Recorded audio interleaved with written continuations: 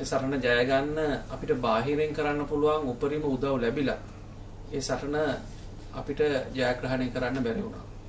ඒතර අවසානයේදී කොවිඩ් කියන රෝග තත්ත්වය එහෙම නැත්නම් කොවිඩ් වෛරසය ලෝකේ පුරා මේ වෙනකොට ජීවිත මිලියන දෙකකට වැඩි ගාණක් පිළිගෙන තියෙන තත්ත්වය යටතේ අපේ රට තුලත් මරණ විදියට ගත්තාම මරණ 300කට වැඩි ප්‍රමාණයක් වෙලා තියෙන තත්ත්වය යටතේ මේ මරණයත් තවත් එක් මරණයක් බවට පත් නොවි මේ මරණය හරහා අපිට සමාජයට දෙන්න තියෙන පණිවිඩය රටක් විදිහට අපි ඉදිරියට ගමන් කිරීමේදී අපිට මේ හරහා ගන්න පුළුවන් පණිවිඩ ගයාන්ට මේ මොහොතේදී අපිට කරන්න පුළුවන් උපරිම සැලකීම කියලා අපි විශ්වාස කරනවා.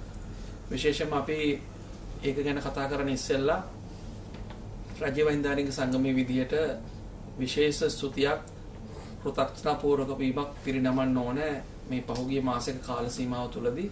ගයාන්ගේ ජීවිතේ බේරගන්න අපිත් එක්ක එකතු වෙලා කටයුතු කරපු සියලු දෙනාට විශේෂම සෞඛ්‍ය ලේකම්තුමා සෞඛ්‍ය අධ්‍යක්ෂක ජෙනරාල්තුමා ඇතුළු රාගම රෝහලේ ඒ වෛද්‍යවරුන් ඊගාවට අපි ගත්තාම මුල්ලේරියාව රෝහලේ ඒ වෛද්‍යවරුන් දැඩි සත්කාරයකේ වෛද්‍යවරුන් ඊට පස්සේ අවසාන මොහොතේදී කරාපිටිය ශික්ෂණ රෝහලේ වෛද්‍යවරුන් දක්වපු කැපවීම ඒ අය ඒ දක්වපු ඒ ගයන් වෙනුවෙන් දක්වපු ඒ සත්කාරය සම්බන්ධයෙන් විශේෂ ස්තුතියක් රාජ්‍ය වෛද්‍යාරික සංඝ විතර පිරිනමන්න ඕන විශේෂම ගයන්ගේ පවුලේ අය සියලු දෙනාම වෙනුවෙන් ඒ අය මේ මොහොතේ තිතාම සංවේගයට පත් වෙලා ඉන්නේ.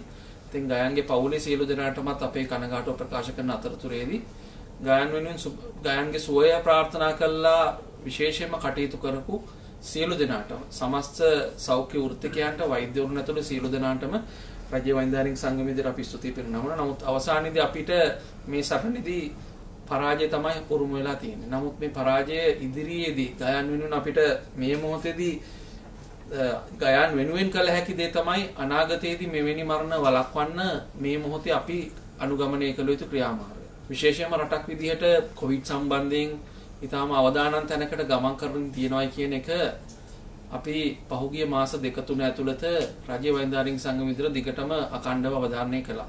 සමහර දේවල් බලධාරීන් කනට ගියා. සමහර දේවල් වලට අපි ක්‍රියාත්මක වුණා රටක් විදිහට. නමුත් තවත් සමහර දේවල් අපිට අතපස වුණා.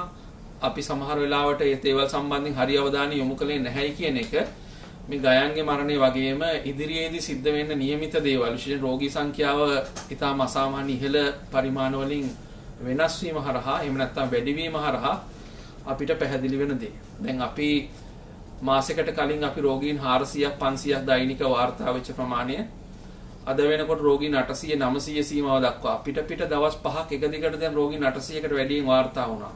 එතන මේ අපි කොහෙටද ගමන් කරමින් ඉන්නේ? මේ தත්ත්වය අපිට ඒතර අභියෝගයක් වෙලා හමාරයි. නමුත් තාමත් අපි විශ්වාස කරනවා මේ தත්ත්වය අපිට ජයගත හැකි අභියෝගයක් කියලා.